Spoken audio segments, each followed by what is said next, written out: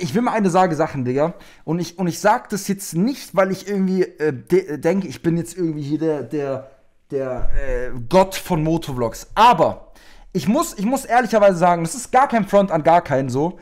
Aber ich privat gucke mir sehr wenig Motovlogs an, weil, und jetzt hört mir zu, vielleicht werdet ihr es fühlen, vielleicht auch nicht, Digga.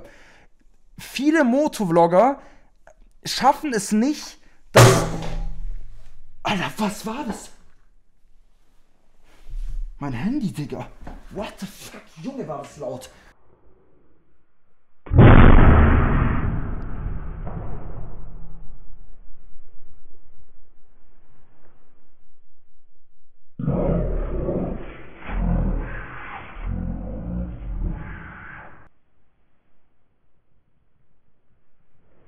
Holy shit, Alter.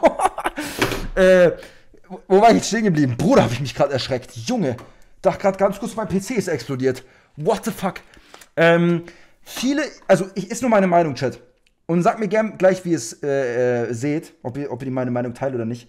Aber was schwierig ist bei Motovlogs, ist einfach, dass du ein Video rausbringst, was so, sagen wir mal, 9, 10 Minuten ist, wie es viele machen.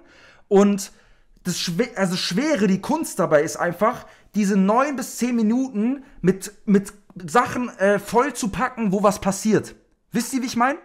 Und das, das schaffen leider ganz viele nicht, Digga. Und das ist auch ein Grund, warum ich privat fast keine Motovlogs schaue. Weil bei vielen Motovloggern ist es halt so, dass es ist so ein random Vlog, wisst ihr? Die fahren halt rum, quatschen so ein bisschen, aber es, es passiert nicht die ganze Zeit was. Und es ist auch ultra schwierig, das so hinzukriegen, Digga. Ich sage jetzt auch nicht, dass bei mir, äh, bei mir bei, in jedem Video das anders ist. Ich versuche es zumindest so zu machen, dass meine Motovlogs oder meine Videos halt einfach, mh, hm, weiß nicht, kompakter mit, also mehr Content ist. Wisst ihr, wie ich meine?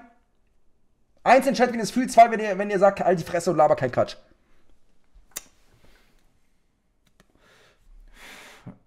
Ja, okay, die meisten fühlen es, die meisten fühlen's, Digga. Und es ist auch, äh, wirklich soll gar kein Front sein. Äh, es gibt bestimmt auch todesviele Leute, die, die Kulu feiern, die Knatter-Crew feiern oder Blackout oder alle anderen so. Ähm, aber ich finde halt, dass das bei vielen es meistens in den Videos so ist, dass halt nicht wirklich viel passiert, Digga. Wisst ihr, wie ich meine?